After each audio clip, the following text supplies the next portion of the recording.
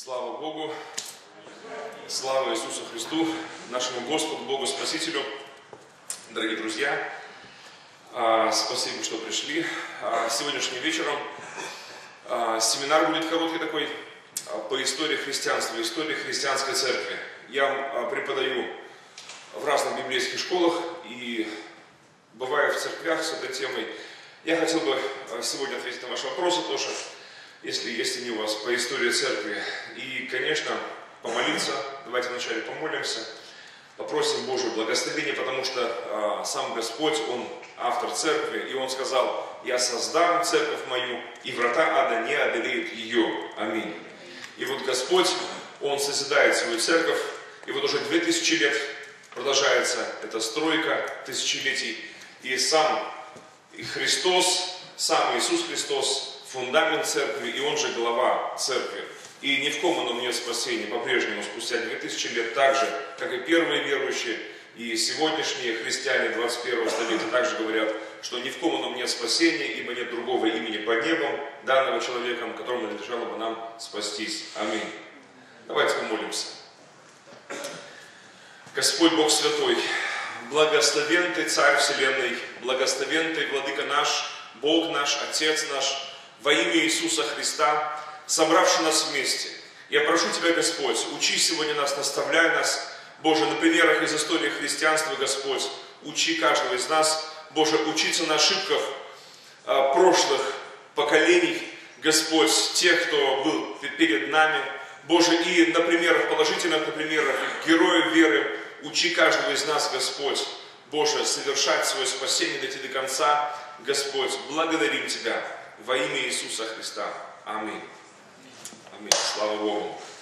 Да, друзья, и как в Израиле меня научили молиться, там, пастор Сергей, короче, сейчас в Израиле, я не знаю, будет ли он там в Назарете или нет, но там а, я был в одной синагоге мессианской, а, и там наши евреи, в основном русские евреи, а, и а, Равин приезжает к ним, и он в начале служения сказал, давай достанем телефоны и помолимся. Что такое? Зачем доставать телефон, чтобы молиться? И он сказал так, благословен Бог наш, давший нам мобильную связь и повелевший ее отключить время служений. Слава Богу. Я отключаю телефон свой, если кто-то не отключил, то отключайте телефоны свои. Да. А то было так пару раз не очень приятно во время прям семинара и во время служения один раз телефон зазвонил в самый неподходящий момент такой. Да, слава Богу за мобильную связь, слава Богу за э, интернет, который я не смог, к сожалению, пока подключить сегодня. Э, но, значит, вообще-то очень хорошая возможность такая э, выходить на, на самом деле, очень большие такие просторы информационные. И реформация начинается с информации. Я православный реформатор, православный обновленческий э, священнослужитель. И э, вкратце мое свидетельство такое, что в 1988 году начал свое служение в православном храме, в церкви, в православной церкви, обыкновенной, не реформаторской, не обновленческой, русской православной церкви. И в 1991 году стал священником и служил на приходах в Рязанской области, Брянской области. А в 1996 году по идейным соображениям вышел из Русской Православной Церкви. И сейчас являюсь с 2001 года являюсь священнослужителем православной реформаторской церкви. И, в общем-то, чтобы вы имели представление, можно представиться. Может, кто-то видел мои программы старые, 99 -го года, допустим, программа «Угол» с Александром Шевченко. Там как раз говорится о реформации православной церкви. Это мое служение. Но реформация начинается с информации и на самом деле, вот я последние вот эти месяцы, последние годы даже, больше езжу по разным библейским школам и церквям также в разных регионах и рассказываю об, из истории христианства много назидательного, полезного такого. Потому что мне, как христианину, как православному христианину, как священнослужителю, очень в жизни помогло из истории христианства правда историческая, истина библейская и правда историческая помогла, помогли мне освободиться от многих неправильных вещей, которые были в моей жизни. Я думаю, что вот то, что сегодня мы услышим, оно поможет э, также многим христианам здесь. И через вас кому-то еще.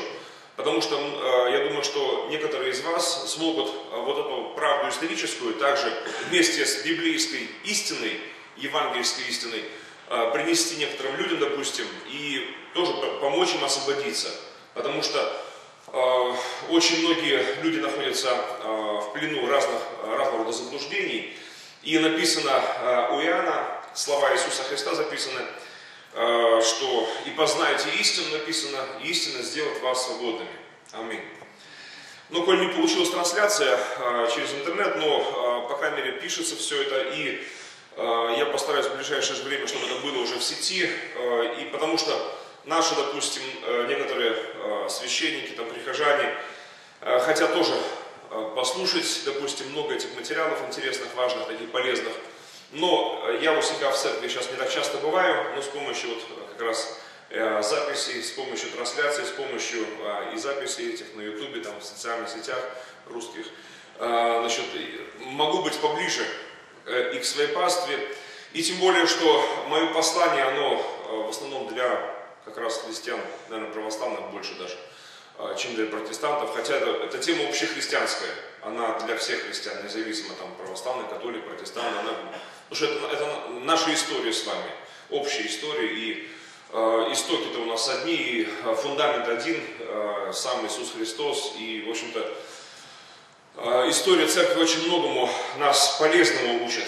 Э, и если мы не знаем истории, если, то мы обречены, будем так говорить, да еще не вникаем в Слово Божье, то мы вообще обречены просто э, совершать много раз одни и те же ошибки, какие до нас просто-напросто совершали наши предшественники. А если мы подкованы еще исторически, знаем истину евангельскую, библейскую, плюс еще подкованы исторически, то, знаете ли, нас не так-то просто э, увлечь э, в сторону. Нам, ну, скажу так, проще оставаться на правильном пути, меньше шансов сбиться с пути. А второе, что мы можем помогать другим людям, которые попали в какие-то проблемы такие духовные.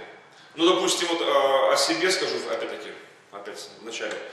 Потому что, как мне правда историческая помогла вместе с евангельской истиной освободиться от многих лжеучений. Допустим, в 96 году, вот изучая Слово Божье, Библию, и пересматривая историю через Слово Божье, именно через Библию, я, допустим, отошел от многих таких ну, страшных очень учений, как, допустим, Э, молитва за упокой. Я знаю, что многие из вас связаны, с, допустим, вот, э, с похоронными служениями, да, значит, э, и вы видели разных священников, которые, допустим, совершают отпевание, да, на кладбище. Ну и мы все соприкасаемся с этой стороной, как бы, да, бытия нашего. И я тоже был, когда священником традиционной церкви, я отпевал умерших и совершал эти похороны там, и в церкви молился за упокой не только в церкви, но и дома тоже молился за упокой. Это, да, в общем, делал то, что делают тысячи моих коллег а, сегодня, и то, что делают миллионы православных христиан, а, я молился за упокой. А в 96 году просто-напросто я в этом покаялся, и с тех пор вот до сегодняшнего дня я не молюсь за упокой, я молюсь только лишь за здравие, за живых людей. А почему? А, по идейным соображениям, потому что вникая в Слово Божье, я понял кое-что, что где проблема-то? что, оказывается, одна из проблем моих и вообще моей деноминации в том, что мы уделяем внимание мертвым э, больше, чем живым вообще. А ведь согласно Божьему Слову, э, можно молиться за кого? За живых людей. Не за мертвых, а за живых людей. А за умерших лишь есть в Библии одна молитва. Это молитва за воскрешение недавно умершего человека. Вот, допустим, там описываются да, факты воскрешения из мертвых. И Э, сам Иисус воскрешал, в конце концов, вот Лазаря, да, друга своего Лазаря воскресил. Но нигде в Библии не говорится о возможности молитвами живым людям повлиять на посмертную судьбу умершего человека. Это ересь и э, откровенной воды ересь. Э, она не выдерживает никакой критики библейской, но, знаете ли, э, для меня да, библейская истина, когда открылась, мне было важно именно увидеть правду историческую. То есть мне было э, важно понять, как, раз этого нет в Библии, как же это все появилось в церкви? Есть такая книга Павла Рогозина, одного баптистского пастора, называется «Откуда все это появилось?». Вот э, это протестантский пастор, просто который проповедник, который задался такой целью, исторически исследовать, откуда появилось в церкви то или иное. И он стал историю копать, исторические факты, и э, обнаружил, что многие вот эти вот, э, казалось бы, незыблемые догматы э, христианства, которые сегодня существуют как догматы, они пришли извне, они пришли с э, таких разных религий, они пришли э, с таких оккультных традиций и прочее. То же самое, допустим, я не крещу младенцев. Э, и в нашей церкви мы не крестим младенцев, э, опять-таки, по единым соображениям. Вот у нас епархия небольшая сейчас, наше такое неформальное такое объединение, архиепископию киевскую. Сегодня входят 11 церквей, разных церквей. В Украине, которая в основном находится, ну и в других странах бывших безбожного Советского Союза, и, и не только уже. А, так вот, и э, наши священники, епископы, священники, в наших церквях, и я в том числе, мы не крестим, допустим, младенцев. То есть педобаптизма у нас нет. Вот это крещение младенцев. А почему? Потому что этого нет в Библии, это одно. Но важна не только еще истина евангельская, библейская, а еще и правда историческая. Когда э, э, я узнал из истории христианства, что это обряд, это традиция педобаптизма, крещения младенцев. Пришла э, в более позднюю эпоху, что первые христиане первых там 300-400 даже лет фактически ничего не знали об этом, мне э, просто стало проще, легче освободиться от этого э, лжеучения.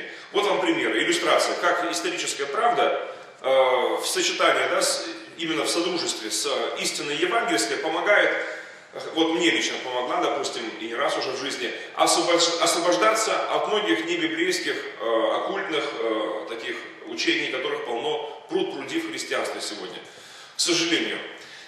И э, на, на, по моему мнению, э, вот именно моя деноминация, именно православная церковь является наиболее проблематичной в этом отношении, то есть наиболее оккультно примененной э, деноминацией, но, знаете ли, людям, сидящим во тьме и тени смерти, есть такое обетование, да, э, воссиял свет. Я знаю, что Господь, э, Он там, где грех преизобилует, да, благодать преизобилует, приумножается благодать это, как там написано.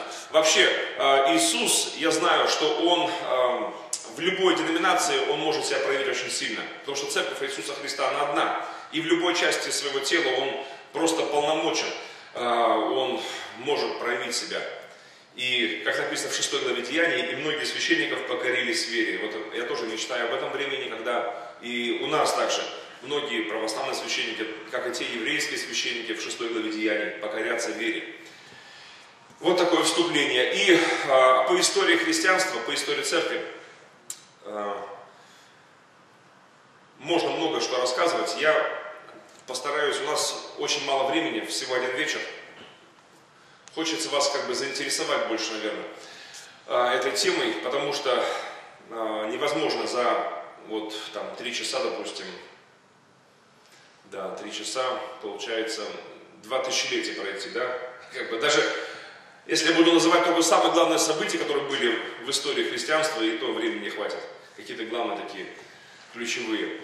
Но э, запомните э, некоторые моменты. Можно, кстати, э, допустим, историю изучать в таких как бы исторических анекдотах, просто, просто примерах из истории. Какие, всякие случаи, интересные случаи из истории христианства, которые тоже не запоминаемы. А, но а, запомните некоторые моменты. А, первых 300 лет, если кто пишет, ну не пишите, да? А, значит, а, есть слайд-шоу. Просто это, опять-таки, я так был в такой, перед такой дилеммой, потому что если слайд-шоу сейчас показывать это, у меня здесь 950 слайдов. Вот, выбирать сейчас из них что-то так вот самое хорошее, мне они все нравятся. Здесь просто много что интересного, и опять-таки буду сейчас листать эти слайды сейчас очень быстро и вы ничего не поймете, и как бы и мне, мне будет неприятно пропускать интересные моменты такие. А, знаете ли, я а, а, вот эти слайды а, все оставлю здесь, просто запишу на флешку там значит, и вы сможете это все просмотреть каким-то образом, ну, для любопытствующих, кого заинтересует эта, тема, вы сможете это просмотреть, эти слайды сами. а также прослушать э, по истории христианства мои лекции, семинары. Вот я тоже могу, ну, постараюсь бросить все это вам, оставить где-то здесь в церкви. Вот, я э, благодарен Богу за знакомство, вот, как раз с пастором э, Сергеем, с, э, вот, с вами. Завтра буду проповедовать здесь в собрании, в церкви, поэтому приглашайте ваших э, православных друзей. Я очень хочу проповедовать, конечно, в храме православном, э, может быть, здесь, вот, допустим, Новокузнецке, где-то в Кемерово, но э, по Сибири, матушки, знаете ли, э, мои коллеги, православные многие священники считают меня еретиком, отступником, ну, уже поняли, почему, наверное, да? Я вам только лишь верхушку айсберга рассказал, и уже вам понятно, что как бы не жалуют меня мои братья. Значит, и свой среди чужих, чужой среди своих. И не, не, мы не чужие, я свой.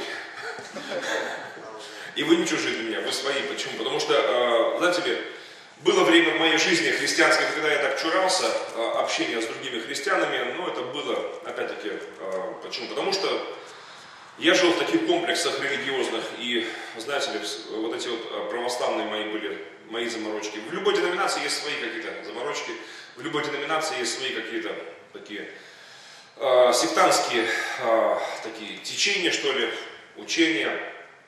Кто-то сектантством этим перебаливает в легкой форме, кто-то хронически, кто-то умирает от этого. Но, э, в общем-то, э, я переболел этим. Слава Богу, Господь меня исцелил, освободил. И сегодня я, пожалуйста, руку протяну и писятнику, и баптисту, там, кому угодно. Кто, если Иисус Господь, если Иисус есть для него Спаситель Господь, как и для меня, Э, то брат и сестра он для меня, и э, здесь неважно, какая вывеска, там, какая ряса на нем, там, или как он там крестится, или там в ладоши хлопает, или там, на коленях стоит, там, или как бы он там ни назывался вообще. Самое главное, что Иисус, Спаситель, Господь наш.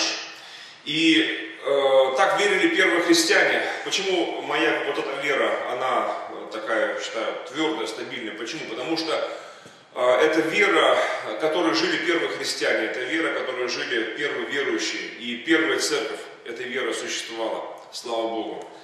И первых 300 лет, запомним так вот а, кое-что из истории, а, первых 300 лет наших с вами старших братьев, сестер, вот этих первых христиан в ранней церкви, не жаловали, конечно, римляне, думаю, многие из вас это знают, да? Слышали?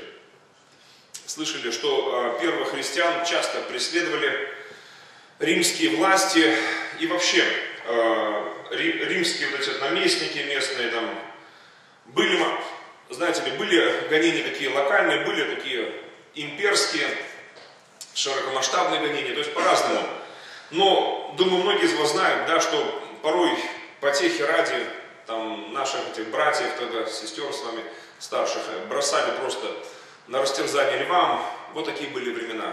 А, не было у людей там телевидения, там а, все было натурально, все так бросали натурально на растерзание, распинали, сжигали. И, в общем-то, хлеба и зрелищ этим жил Древний Рим. Не то, чтобы они были такие плохие, люди как люди, не лучше, не хуже нас с вами, но просто люди жили, будучи помраченные в, своей ложной, в своих ложных религиях, в своем оккультизме. Сейчас оккультизм как бы возрождается уже где-то полтора столетия, продолжается такое время ренессанса как бы оккультизма на планете, спиритизм там, значит, там и прочие мерзости, но сейчас это как бы, как бы второе дыхание оккультизма на планете, но тогда, в те времена, вообще люди этим жили, Э, это было как само собой разумеющееся. Сегодня хотя бы какие-то тормоза есть у многих людей на земле. Все-таки даже в постхристианском мире, да, как еще порой говорят в Европе, допустим, все равно у многих людей есть тормоза, что э, понимать, что, как, допустим, спиритизм это зло, как бы, да, это грех, как бы, то есть какое-то понимание есть. Но в те времена не было даже таких тормозов. Люди просто-напросто жили и умирали в оккультизме, и как бы это как само собой разумеющееся было по умолчанию в разуме людей. И это, э, это не считалось злым, это не считалось плохим. Понимание единого Бога было вообще э, просто высмеивалось римлянами и греками, и они верили во многих богов и думали, это, это все хорошо, благочестиво. И смеялись над теми, э, кто как раз говорил, что это неправда.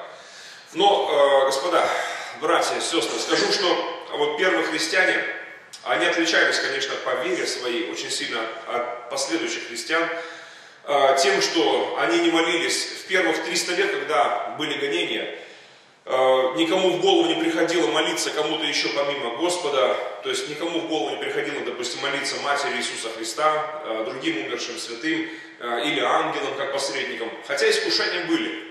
Искушения наверняка были, конечно, помним Иоанна на Патмосе, да, старик уже, человек, проживший такую бурную жизнь христианскую, он был возле Иисуса Христа, он был и даже до последнего дня возле Иисуса, возле креста стоял, потом был свидетелем воскресения Иисуса, потом э, был крещен Духом Святым в день Пятидесятницы, то есть он такую жизнь прожил, он, был в эпицентре вот этих духовных сражений, был евангелистом, написал Евангелие, то есть Духа Святого слышал не, э, не с чьих-то слов, а лично мог слышать хорошо Духа Святого, написал послание, э, то есть как бы и больше того, прожил очень большую жизнь, был уже на Патмосе в ссылке, э, есть разные предположения, сколько ему было лет тогда, мы не знаем точно, но говорят, что ему было за 90, уже когда он писал вот эти книги, книгу Откровения.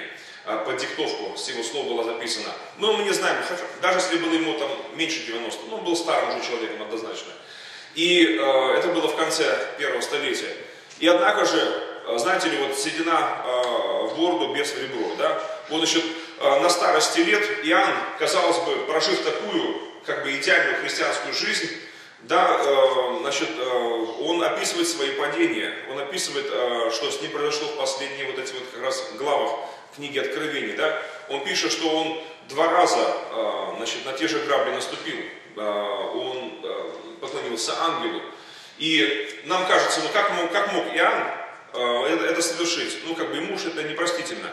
Но Иоанн пишет это подробно. И он пишет это не для того, чтобы опозорить себя, да, чтобы свою честь как бы уронить так, в глазах христиан, или для того, чтобы... Ну, он пишет это как предостережение. Я убежден. А, и слава Богу, что ангел, а, в общем-то, старика поддержал. Он, значит, сказал ему правду, он сказал, Богу поклонись. Иоанн, не мне, а Богу поклонись. Но Иоанн в скором времени опять на те же самые грабли наступил, опять поклонился ангелу. Вот, и ангел его опять обличил в этом его ну, падении. И слава Богу, два духовных падения. Знаете ли, саперы ошибаются раз, а, апостолы вот, ошибаются порой не раз, но, слава Богу, хотя любой грех он может привести к смерти э, христианина, но Господь, Он милостив, и Он Иоанна, вот два раза перепутавший проводки, были духовно будем так говорить, Он помиловал просто-напросто и не дал ему погибнуть, не дал ему подорваться духовно, а дал ему благодать просто, просто по благодати. И он был спасен. И после Иоанна Такие же искушения, они, конечно, были в, каждом поколении христиан, но слава Богу, что первые христиане побороли такие искушения и молились только лишь Господу. Э, первые молитвы, кому бы то ни было помимо Господа, Матери Иисуса Христа, его ближайшим друзьям, апостолам и ангелам, была лишь легализована, и само учение это появилось в конце 4 начала 5 столетия а оно было а, легализовано, будем так говорить, в христианстве в начале пятого столетия. Запомним такую дату. 431 а, год. 431 год. А, вот именно в том самом злополучном 431 году, впервые в истории христианства, вопрос был поднят на Вселенском аж соборе о том, что, мол, можно молиться еще кому-то помимо Господа. То есть первых, запомним, первых 400 лет христиане ни на Востоке, ни на Западе, нигде было еще, не молились никому другому помимо Господа. Знали Отцу, Сыну, Святому Духу молиться. Все, больше никому не молились. Знали лишь одного посредника, первого священника Иисуса Христа. Знаете, э, место Писания такое, напомню, 1 Тимофею, кто помнит, может быть, 1 Тимофею, 2 глава, Пятый стих написано, «Ибо един Бог и един посредник между Богом и человеками, человек Христос Иисус, предавший себя для искупления всех». А, И это не просто такое заявление Павла. Нет, это Духом Святым послание, писанное.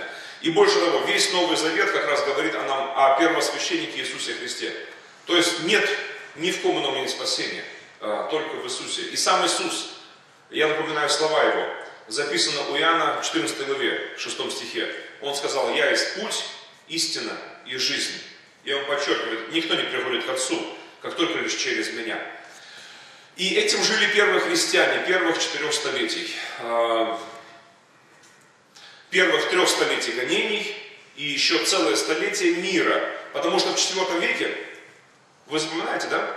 А, Три столетия гонений, потом было четвертое столетие уже свободы, когда легализовалось много союзов христианских церквей, когда строились тысячи храмов, больших и малых этих церковных зданий строилось, и на востоке, и на западе империя была огромная.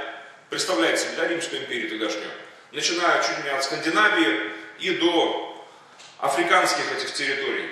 А, потом от Великобритании и до Ирана, Ирака и Индии. Вот а, огромнейшая территория, и по всей этой территории на протяжении четвертого столетия строилось множество, тысячи и тысячи больших и малых церквей. Христиане легально проводили собрания, служения, церкви умножались, распространялись.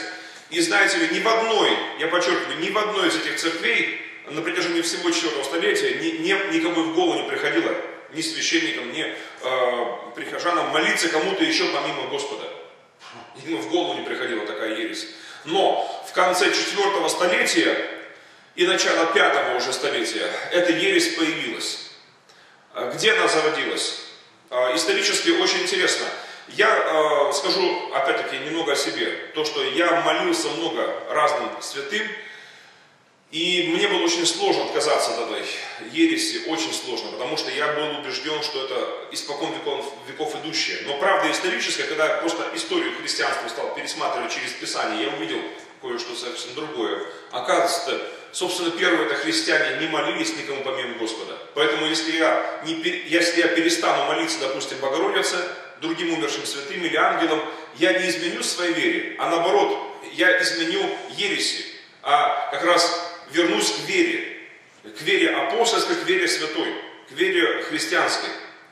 Вот и, знаете ли, э, те христиане, что молятся сегодня, православные, католики и частично протестанты, э, я таких тоже знаю, протестантов на Западе, допустим, в Америке встречал таких э, протестантов, англиканские некоторые приходы, епископальные церкви молятся еще и Богородицы, и ну, Марии, Матери Иисуса, да, святым некоторым, но это отдельные. Вообще-то чаще, э, э, чаще всего протестанты не молятся никому. Это, и слава Богу, слава Богу. Потому что протестанты некоторые вопросы задают, а где были протестанты до 16 столетия?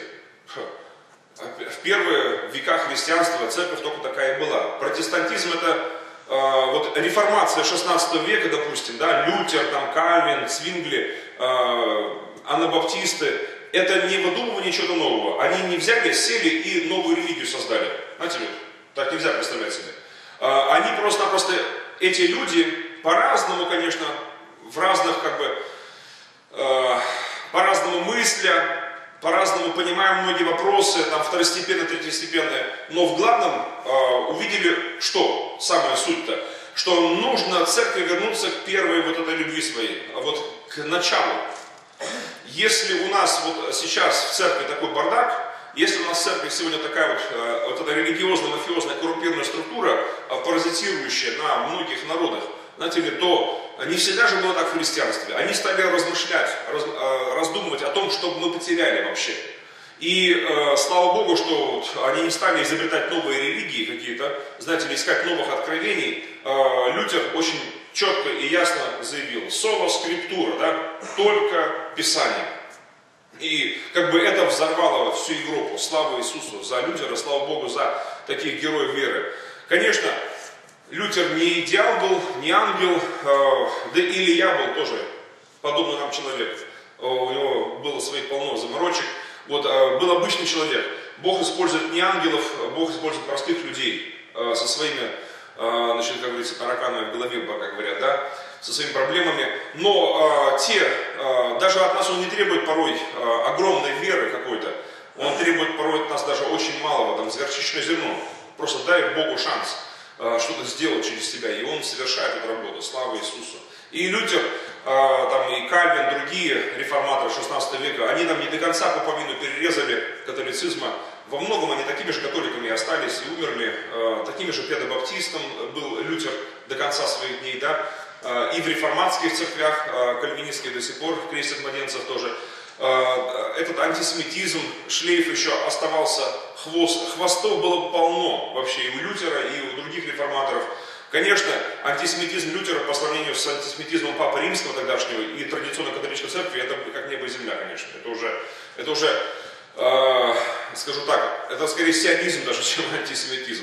То есть э, Лютер же заступался, и за евреев заступался. Хотя, с другой стороны, он поддакивал тогда, когда рушились синагоги, значит, и говорил, что вот пора евреев обращать в христианство. То есть он был таким же католиком в мозгах еще, э, в, мыш... в своем мышлении, образе, абсолютно. Но, слава Богу, что Э, э, уже сделал шаг человек вперед. Другие братья, другие люди сделали другие шаги вперед.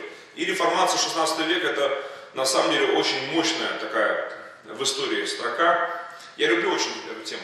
Вы знаете, люблю говорить об этих людях, героях веры, э, но проставляя не Лютера, конечно же, не Камена, не кого-то еще из этих отцов, а вот именно самого Иисуса Христа, который и вчера, и сегодня, и во веки тот же написано. Аминь. Да, господа, вот такое. Я скажу о, если э, историю христианства нарисовать, то можно нарисовать так, что после четвертого примерно столетия, э, ну, как бы после третьего даже столетия, история христианства стала постепенно так то быстро, то так медленно, но скатываться вниз. История церкви и так продолжалось до начала 16 столетия. Больше или меньше, но скатывалась история церкви вниз, все ниже, ниже ниже. Дошло до просто маразма, дошло просто откровенного. Э, христианство было 100% фактически в Европе, но эти века называли мрачным средневековьем. Э, христианство стало мраком, представляете? Потому что э, христианство было не Христово, а христианство было мафиозное, христианство было коррумпированное, христианство было без Иисуса – без Библии. И у нас здесь на Руси, и там, в Западной Европе, ну, в христианских странах, короче говоря, за хранение порой Библии сжигали на кострах, а, значит, за чтение Библии сжигали на кострах. Вот не только там в Европе, у нас тоже, наша инквизиция была православная не меньше суровая, чем западноевропейская, просто о ней не принято говорить, как бы, а, но хрен резко не старше.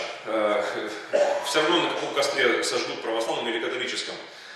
Э, хотя православный костер был в чем-то даже еще более ужасный. Как правило, э, на Востоке, именно в православной церкви, в русской обычно, сжигали, как правило, на медленном огне э, чаще всего, в отличие от Западной Европы, где сжигали сразу на, на большом огне. То есть как были свои нюансы. Значит, но я был значит, в Амстердаме, в музее Инквизиции, там большая экспозиция стоит, там многие экспонаты натуральные, э, не восстановленные какие-то, а вот именно вот тех времен стоят. Э, там такие ужасные всякие кресла, на которых мучили э, еретиков, там, значит, отступников, там, ведьм, там, что-то среднее такое между креслом стоматолога и гинеколога, что-то такое. И все это еще, плюс еще с такими клещами такими, знаете там, значит, там, говорю, ужас какой-то. И потом всякие дыбы эти, колеса, и Нечто подобное было у нас тоже э, в СССР тогда. Выставлялось в Музее религии и атеизма. Кто, может, был, если когда-то... Э, я побывал в Ленинграде тогда, э, ну, по крайней мере, до 89-го, что ли, года, или до 90-го года. Эта экспозиция выставлялась тогда в храме Казанской церкви. Прямо вот на... Ну, в центре города. Петербурга, одним словом, на Невском проспекте, Казанский собор. Он тогда не был действующим, он тогда был еще э, значит, музеем. Э, здание храма используют как музей религии и атеизма. И там была экспозиция э, о православной инквизиции. Это была, скажу так, что ну, не лучше, чем в Амстердаме экспозиция. То есть, как бы, такого же уровня, будем так говорить. Только в Амстердаме там еще как бы с этими шоу, э, восковые всякие фигуры, там идешь, там раз так, гильотина, хоп, и башка полетела, ну, как бы ужасно, конечно, и, значит, и там запись такая, крик, в соборе такого не было, конечно, не было этих восковых фигур, не было там, там как бы подсветок таких, таких страшных, таких хохота, вот как бы, значит, ну, как бы, поэтому музей в Амстердаме, он больше похож на как бы, фильм ужасов или там, или комната ужасов, но только с реальными экспонатами, как бы, музейными. Вот, э, в Казанском соборе выставляло все очень проще гораздо и, как бы, но не меньше было страшно, честно говоря, когда смотришь на вот эти клещи, которыми ломали ребра, снимали кожу, значит, там, значит, все эти приспособления, которые были орудиями э, православных инквизиторов э, прошлых столетий. Э, и, но, конечно, в основном инквизиция свирепствовала православная, это Подмосковье, это Иосифо-Волоколамский монастырь, э, был один из центров инквизиции знаменитые Соловки, значит, но они не были такие как бы суровые на самом деле. Больше все-таки э, Иосиф Волколамский монастырь был известен именно камерами пыток своими, душегубками и прочими. А также Спасо-Ефимовский монастырь в Суздале и другие некоторые обители были именно использованы как именно исключительно инквизиторские обители. Вот, это отдельная история, то есть нам есть тоже чем каяться. Я думаю, что пришло время э, и нашим иерархам присоединиться к тому, что сделал э, вот прежний римский папа Иван Павел II по отношению к католической церкви.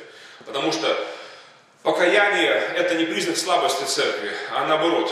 Э, по мирскому, может быть, так оно и есть, но э, если брать духовную сторону жизни, э, а мы, христиане, должны так размышлять, то покаяние это не признак слабости церкви, а наоборот, признак взрослости церкви, признак зрелости церкви.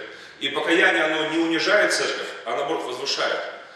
Кстати, вот прямой пример из истории. Когда Иван Павел II значит, начал покаяние в антисемитизме, покаяние в инквизиции, покаяние вот, во многих этих злодеяниях церкви, и вместе с ним каялись там, некоторые кардиналы епископы от лица католической церкви, то перед тем, как он начал это все, некоторые политологи, религиозные деятели, политологи говорили ему воздержаться от этого, потому что и без того низкий рейтинг церкви упадет еще ниже. Но получилось прямо наоборот. Первое же десятилетие, сразу после начала покаяний, рейтинг церкви резко поднялся. Это было во всем а, отмечено. А, в бизнесе, в религии, там, значит, политике, влияние а, ватиканских послов, представителей стало гораздо больше, намного больше, и на Востоке, и на Западе. И, понимаете ли, то есть при Иване Павле II в католическая церковь испытала реальность Божьего закона, что возвышающийся унизится. Вот, и, значит, и наоборот, а, кто унижен, да, сам себя унижает, он кается, одним словом, да, смиряется, он будет возвышен до Богом. Хорошо, друзья, я верю, что а, покаяние православной церкви в инквизиции нашей православной, оно не унизит православие, а наоборот возвысит. И покаяние, оно не э, уронит авторитет церкви в глазах общества, а наоборот поднимет. Я в этом глубоко убежден. И для меня большой пример, вот, пример католической церкви. У меня много друзей католиков, а, я бываю в костелах иногда проповедую тоже, значит, и в польских костелах, в американских а, костелах католических проповедую, а, в особенности вот этих среди католиков-харизматиков, которые крещены Духом Святым, как и я крещен Духом Святым, и я такой православный харизматик. В Америке есть даже такая тоже церковь наша, называется харизматическая православная церковь, харизматик Orthodox Church. Так что православным харизматам есть что даже рассказать. И, кстати, патриарх этой церкви э, в Америке, это и белый американец, православный, крещенный Духом Святым, э, епископ Марк Керси, э, он является и патриархом этой сейчас церкви, или как исполняющий обязанности патриарха, местоблюстителем патриарша. В основном эта церковь находится на юге, в Южных Штатах, центр находится во Флориде, в городе Сан-Августине. Флорида это как, допустим, Крым. Это полуостров такой курортный, там, жуй кокос, ешь бананы. Знаете, чунгачанка такая. Э, значит, э, и очень расслабляет этот полуостров, конечно. Э, но там находится как раз центр вот этой церкви, харизматической православной церкви. Там в городе Сан-Августине. Это самый старый город Северной Америки вообще. В США самый старый, старый город. Его основывали еще испанские конкистадоры. А, И вот именно в этом городе находится центр а, православной реформации такой сегодня. Не только в Америке, но и вообще в мире, по- сути. И а, все православные священники, там, епископы, кто крещен Духом Святым в разных странах мира, они все туда стекаются, потому что ну, там центр и патриархии, и центр этой церкви. И патриарх этой церкви, православный патриарх, говорит таки- такие слова, Марк Керси, что говорит, раньше, говорит, для него было странно, что если православный человек и а, тем более священник и молится на языках, а теперь для меня странно другое, говорит, если православный человек, и тем более священник, и не молится на иных языках. Вот это для меня странно теперь. А, Да, потому что на самом деле дело не то, что он говорил даже о молитве, а он, а он говорил вообще о переживании крещения Духа Святым. О том, что это для всех христиан и для нас православных тоже. Мы не должны быть, знаете, в стороне. Это все равно, что, допустим, тело омывается, да, а, а руку не моешь, допустим. Вот, а, должно все тело омыться. И а, Дух Святой это не только удел для там, отдельных деноминаций каких-то, да, допустим, он для всего тела Христа. Слава Богу. Но есть, конечно, э, части тела Христа, которые очень сильно перетянуты жгутами таких религиозных лжеучений, что туда и не пробиться Духу Святому, казалось бы, которые уже э, в омертвении находятся, казалось бы.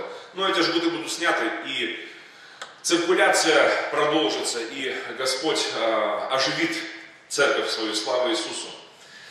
Да, друзья, и вот о чем я сказал, что сказал о том, что христиане первых четырех столетий, да, трех столетий гонений, потом целого столетия мира не знали молитвы за покой. Э, и- э, И молитв э, мертвым, и молитв за умерших. А в принципе это по большому счету одного поля ягода. Потому что, опять-таки, молитва умершим и молитва за умерших, это все, как бы, в принципе, одна доктрина, только с разных сторон. И вот, откуда появилось это, эти лжеучения появились, о молитве умершим, допустим, и молитве за умерших, они появились из Африки. А, В Африке вы, наверное, слышали, да, вот Эфиопия, Сомали, вот в этих странах, А, ну, в Египте, конечно же, тоже, да, северо-восток Африки.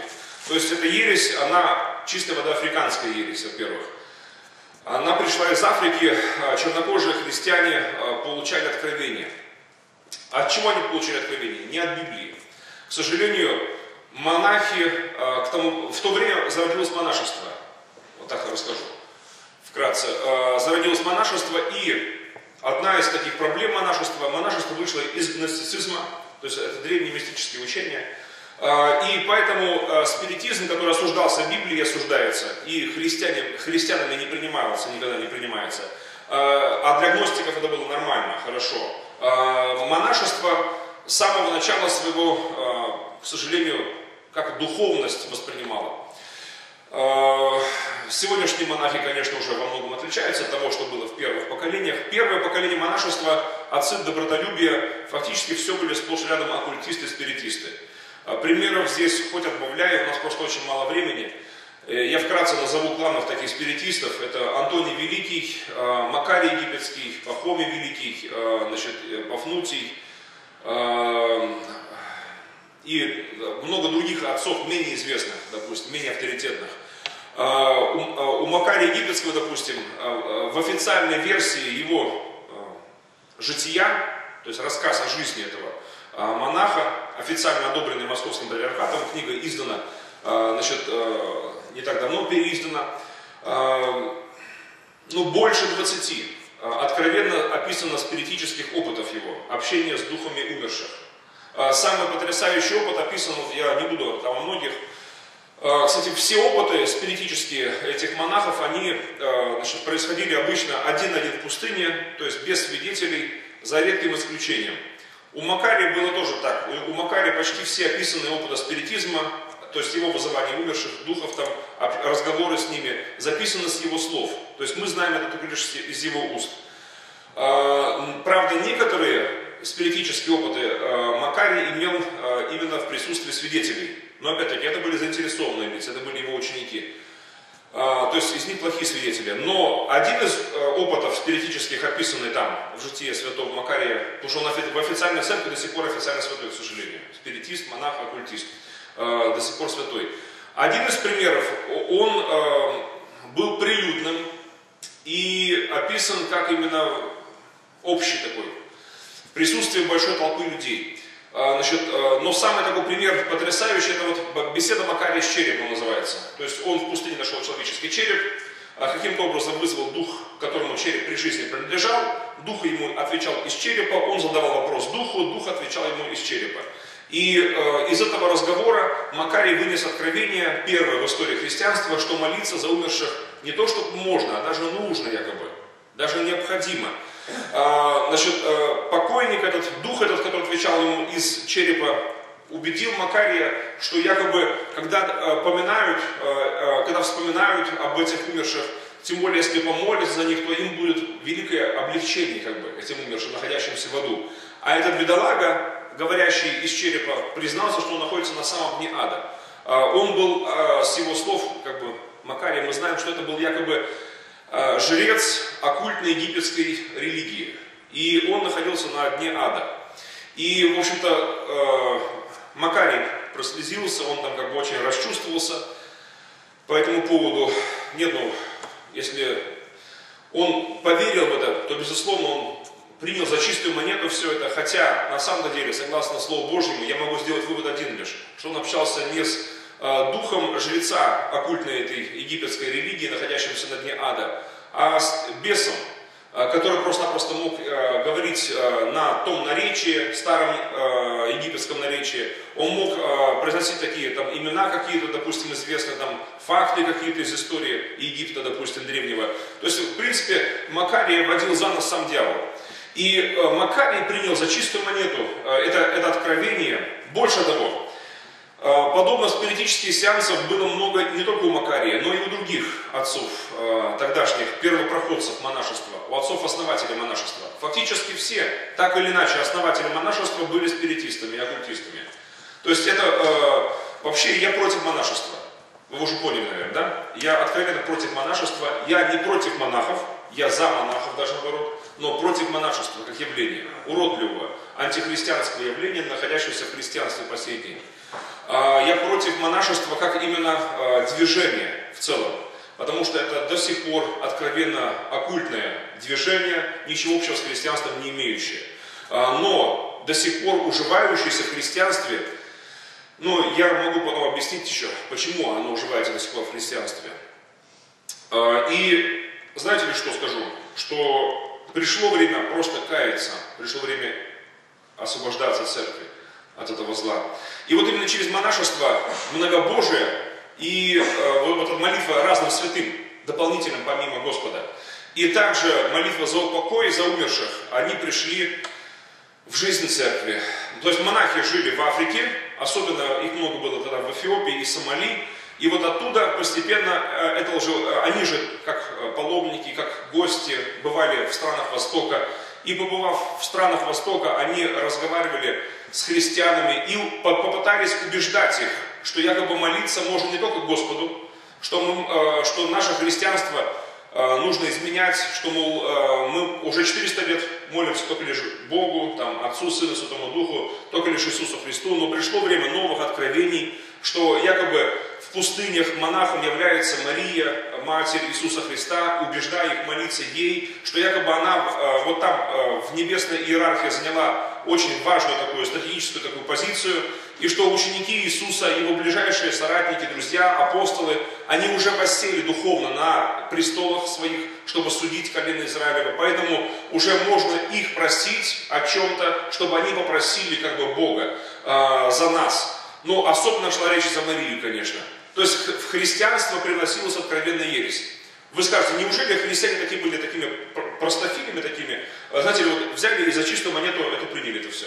Неужели они эту религиозную лапшу на уши свои так доверчиво приняли и ничего по этому поводу не говорили? Не все так просто было на самом деле.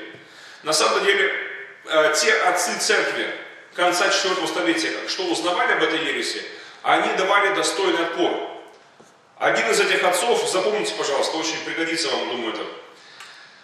А, это Епифаний Кипрский, Епифаний архиепископ Кипрский. Епифаний Кипрский, он тоже, кстати, официально святой в православной церкви э, и в католической церкви. Но это был именно один из тех столпов веры, что тогда противостоял этой ереси. Слава Богу. Э, он дал достойный отпор этим африканским гостям, которые на его острове, где он был епископом, стали эти ереси распространять. По поводу Марии, матери Иисуса, он сказал следующее, Епифаний, что ее, Марию, должно уважать, но никто не должен молиться ей. И слава Богу, а сегодня самому Епифанию молится от порчи, от сглаза там.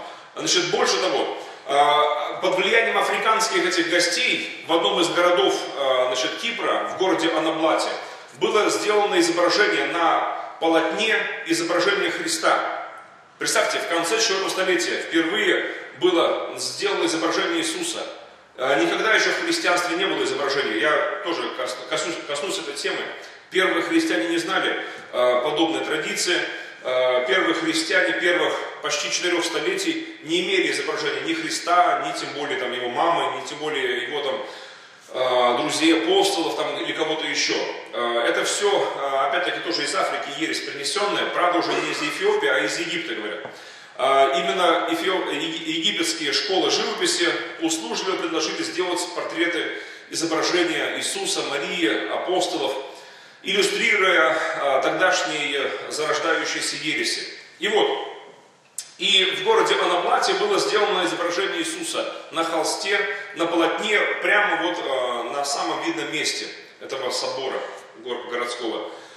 И Епифаний Кипрский, э, приехав в этот город, посетив этот город, э, побывав там на служении, он э, вышел и пред всеми людьми, собравшимися там христианами в этом соборе, он собственноручно это изображение уничтожил и заявил, что подобное есть новшество, есть очень опасное новшество, что это есть повод к идолопоклонству, которое, знаете, Епифаний как будто в воду глядел. Буквально лет через 50 после уже его смерти э, были уже изображения, э, не только э, где-то на Востоке, даже уже и на Западе были изображения, им уже тайком уже постепенно начали поклоняться уже, почитать их, целовать их там и прочее. А уже прошло еще лет 150, и уже появились такие учителя, которые говорили, что, мол, даже можно э, откровенно целовать полотно или доску с изображением ради того, кого оно изображает, как бы, э, через образ на первый образ. Был такой э, Леонтий, такой архиепископ из Неаполя, неаполитанский епископ, который эту ересь впервые провозгласил. Но слава Богу, что его тогда же, там в шестом даже было веке, да, э, его разоблачил э, Филоксен такой был, богослов Иеропольский, который э, написал книгу против э, этого Леонтия, э, заявив, что то, что Леонтий пропагандирует, это является, ну, по сути, антихристианством, которое выдается за христианство этим Леонтием. И слава Богу, что большинство итальянских епископов, они поддержали именно Филоксена и ополчились против Леонтия, который вот эту ересь стал провозглашать. Но до сих пор, к сожалению, эту ересь в христианстве пропагандируют. Вы, наверное, слышали об этом уже, да? Через образ на первый образ. Допустим, может быть, вы говорили с кем-то из традиционных православных, допустим, что вот почему вдруг ты целуешь икону? А, мне когда говорили такое раньше, я говорил, да вы что? А, мне, значит, показывали на Библию, я говорил, ну-ка закройте Библию, давайте поговорим так нормально. Я вам пример приведу.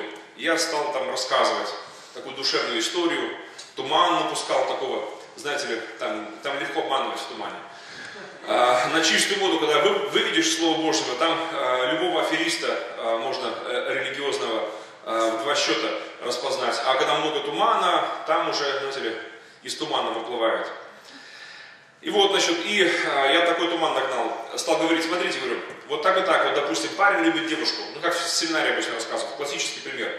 И вот, значит, и он целует фотографию девушки, Э, но он любит не саму же фотографию, он любит девушку, и он через образ на первый образ. И вот мы тоже говорим православные, мы да, мы со стороны кажется, что мы э, значит, как бы поклоняемся этим иконам, со стороны, может быть так и кажется, но не надо, как говорится, Божий дар с яичницей путать, да, значит, э, кислость с пресным не надо все вместе. Вот мы внешне то же самое делаем, что вот все язычники перед идолами, но на самом деле мы другое совсем не творим.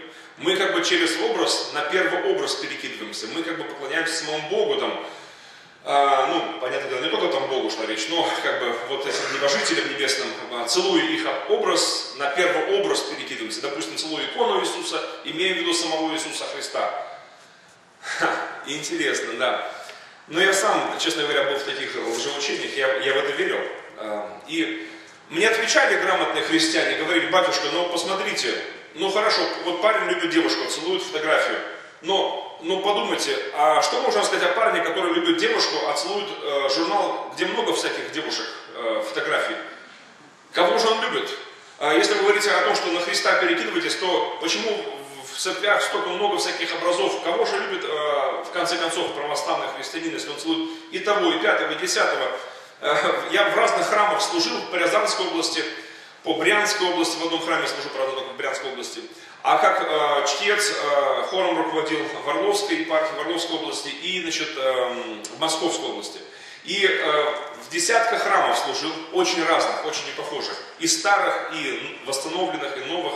И знаете ли, э, так чудно было видеть, когда, допустим, э, люди подходят там, и вот образа все целуют, целуют, целуют, там все, все, там Бозику потелю, там вот поцеловал, поцеловал, поцеловал. И, и, и детей, э, значит, к, к этому тоже приучают как бы с детства, знаете, такой э, как бы оккультизм для малолетних. Вот, ну, поцелуй боженьку, поцелуй боженьку еще. Вот, значит, и того боженьку, и ту боженьку. А там, значит, э, на выходе в некоторых, в некоторых храмах рисуют страшный суд.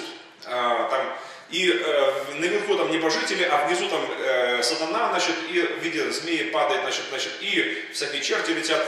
Но прихожанам туда не дотянуться, да, небожители до Иисуса Христа, там ангелов, там, э, святых, они э, этого и чертей всех целуют там, и сатану там, а вот с этим красным глазом такой дракон, там, как типа динозавр какой-то, его тоже целуют его. А, а я когда так смотрю, думаю, я батюшку местному говорю, отец, ну смотри, твои прихожане чертей всех перецеловали. Говорю, да, я уже говорил не раз, они, им все, все одно. Что не поп, то и батька, что не икона, то святыни, как бы, и все там. А в, одной, в одном храме там э, был Ельцин нарисован тогда, как раз он был президентом действующим, я еще живой был, да, был президентом еще, и Лужков, и кто-то еще, не помню, кто же там. А, ну вот, вот эти, э, э, московское руководство там, областное руководство э, было нарисовано. Это храм, как называется, бывший Богородск город, Ногинск, Ногинск, Ногинск. Как раз через Ногинск э, несли э, как раз мощи Серафима Саровского, это было в 91-м, да, или 92-м уже, я еще не помню, 91 год, по-моему, первый раз несли как раз через крестным входом. И это историю запечатлели. Ну, правда, э, и там и Ельцин был, и все прочие там товарищи были без нимбов, конечно же, но они, они просто были ну, нарисованы. Но среди них там попадались святые какие-то там, знаете ли, ангелы там или кто-то еще. Вот, и прихожане тоже там, и Борис Николаевич, это всех там всех, короче, всех поцеловать, никого не обидеть. Но вы думаете, это только сегодня чудят? А, нет, конечно, в древности так было принято вообще даже. Это было популярно, это, это, это хорошо забытое старое. Допустим, взять там какие-то соборы древние, там, времен там еще, там, ну, сразу после крещения Руси, допустим, да, времен, ну, кого, а, после князя Владимира, там, да, Ярослав Мудрый тот же самый, там, другие, из, Владимир Мономах, там, эти вот, князья киевские, они не забывали про собственные персоны. Когда храм новый разрисовывался, то там обязательно рисовались они сами, э, их там чада, их там э, жена, там, значит, там, их там какие-то, ну, правда, без нимбов, но в, том, в таком же стиле абсолютно рисовались, что там принципе, вопрос времени. Его канонизация, пройдет время, он понимал, что, он, в принципе, пройдет там 100, 200, там 500 лет, и он рано или поздно в святые попадет. Так и получалось в истории. Потом проходило время, он попадал в святые, и, э, и художникам оставалось только лишь дорисовать нимб, и все. В принципе, дело было за малым. Э, вот такая э, канонизация. И политическая, откровенная канонизация, как, допустим, вот канонизация Николая II, последнего русского царя, вот, э, где э, ну, 100% политика, э, там никакого вообще нет даже ну, христианства православного или какого-то другого.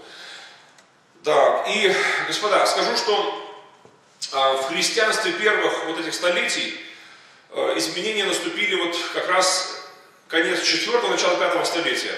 фактически, чего бы мы сейчас не коснулись, изменения были очень серьезными. Я уже назвал, да, молитва за упокой. Вот в это же время как раз пришла. Молитва умершим, э, Матери Иисуса, умершим апостолам, там, святым всяким, э, опять-таки, в конце 4 начала 5 столетия. Но если как бы брать даты, то я уже упомянул, да, самый такой трагичный такой собор, роковую дату в истории христианства, это 431 год.